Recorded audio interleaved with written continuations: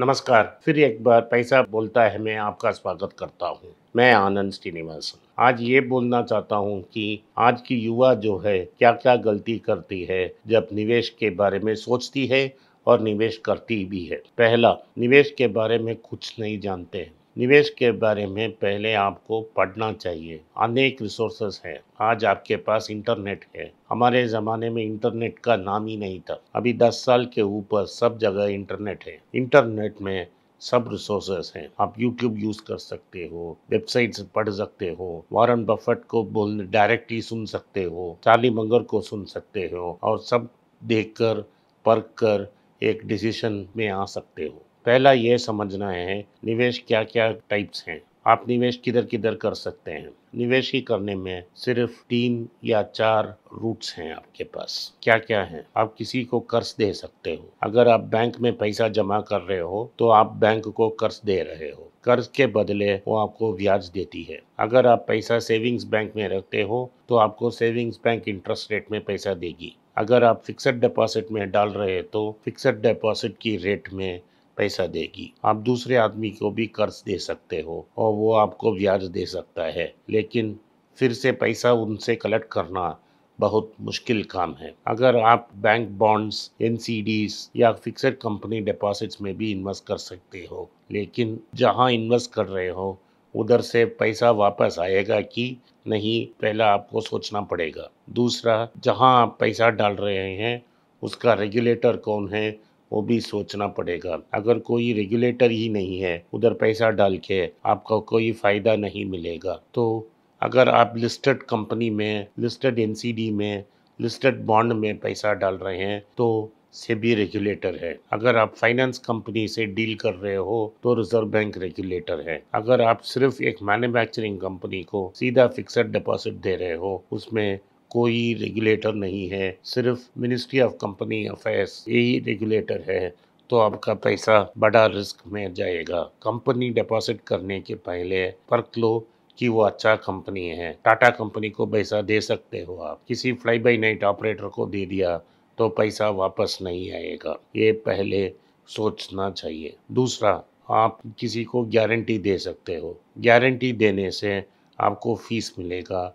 और कुछ नहीं मिलेगा। जैसे आप अपने फ्रेंड ने कर्ज ले लिया तो आपने उसको गारंटी साइन दे दी तो आपको उनसे फ़ीस लेना चाहिए। लेकिन अगर आपके फ्रेंड ने पेमेंट ने डिफ़ॉल्ट कर दिया तो बैंक या एनबीएफसी आपके घर में आके आपसे पैसा वसूली करेगा। तो गारंटी साइन देने के पहले दस बार सोचिए। ये हुआ दूसरा टाइप का। तीसरा टाइप ये है। आप पैसा सोने चांदी में डाल सकते हो प्लैटिनम में डाल सकते हो। अगर आप प्रेशियस मेटल्स में पैसा डाल रहे हो तो आपको पैसा इससे, इसलिए मिल रहा है कि गवर्नमेंट बहुत पैसा चाप रही है। और पैसा जब बहुत चापती है तो मुद्रास्फीति का सिचुएशन आ जाती है इन्फ्लेशन का सिचुएशन आती है और पैसा का मूल्य कम हो जाता है और सोना चांदी प्लेटिनम का ऊपर जाता है। इसीलिए हम प्रोटेक्शन के लिए सोनी, सोना चांदी प्लेटिनम में इन्वेस्ट कर सकते हैं। चौथा मोस्ट इंपॉर्टेंट आप शेयर बाज़ार में इन्वेस्टमेंट कर सकते हो। शेयर में इन्वेस्ट करने के पहले बहुत बार सोचना पड़ेगा रिसर्च करना पड़ेगा। उसके बाद ही शेयर में इन्वेस्टमेंट कर सकते हो। शेयर में ये तात्पर्य है कि जब कंपनी मुनाफा बनेगी तो आपको प्रॉफिट में एक पोर्शन डिस्ट्रीब्यूट होगा।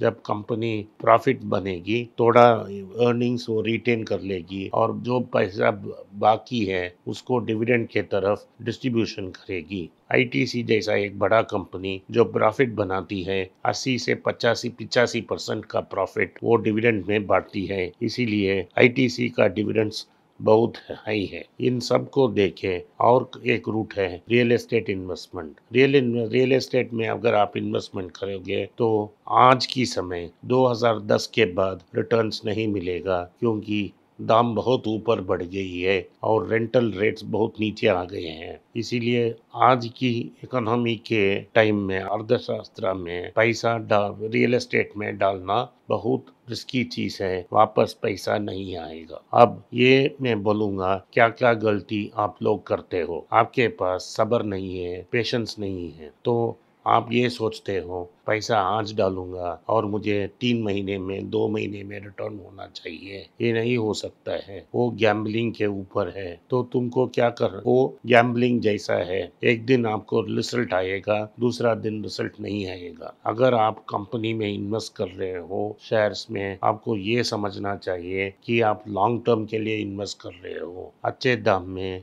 पैसा लेना चाहिए। अंग्रेज़ी में बोलते हैं price is what you pay value is what you get माने जो दाम दे रहे हैं वो आप पेमेंट कर रहे हो। मूल्य जो मिलता है वही आपको पास आएगा। सो so, कंपनी को कम दाम में खरीदने से ही आपको मूल्य हो जाएगा। पिछले साल आईटीसी 130 रुपया में मिला था। वो बहुमूल्य प्राइस था। अगर उस प्राइस में लिया गया तो आपको बहुत प्रॉफिट हो जाता। आज आईटीसी का शेयर 240 रुपया में चल रहा है, आपको 30 परसेंट मिल रहा है और आठ रुपया डिविडेंड में ऑलरेडी मिल चुका है। तो अगर को आपको 110 रुपया का मुनाफा मिल गया, अगर आप उसको आज बेच अर्जेंसी में बिना सबर उसको बेच देते हैं तो फिर आपको एक रुपया में नहीं मिलेगा। अगर आप उसे दस साल के रखेंगे तो हर साल आठ से लेके दस रुपया का डिविडेंड भी मिलेगा और शेयर का दाम लगभग 750 से लेके हज़ार तक जाएगा। आपको सबर से काम लेना चाहिए। तीसरा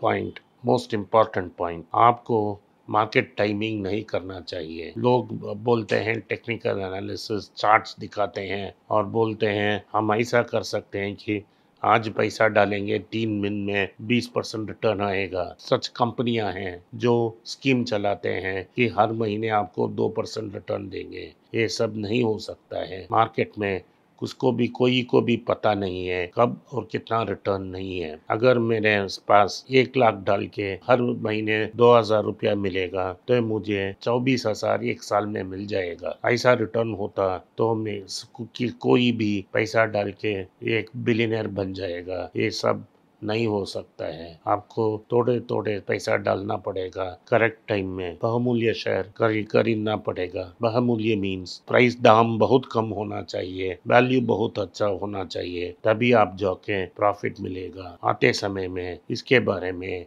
मैं बहुत सा वीडियो डालूँगा। धन्यवाद। नमस्कार। जय हिंद। नमस्कार, मेरा नाम आनंद श्रीनिवासन है और मैं एक पर्सनल फाइनेंस कंसल्टेंट हूँ। मैं दो यूट्यूब चैनल चलाता हूँ पर्सनल फाइनेंस के बारे में। एक मनी पेज तमिल में है। मेरे बहुत से दोस्त बोले कि मैं हिंदी में एक चैनल शुरू करूँ। तो मैंने एक पैसा बोलता है नाम का एक हिंदी चैनल शुरू किया है। मैं पर्सनल निवेश के बारे में ही बात करूँगा। आप उसको सब्सक्राइब करें, अपने दोस्तों को शेयर करें। अगर आप हिंदी नहीं जानते हैं तो पैसा करें। जो आपके दोस्त हिंदी जानते हैं, उनको सब्सक्राइब करने के लिए आग्रह करें। धन्यवाद, नमस्कार।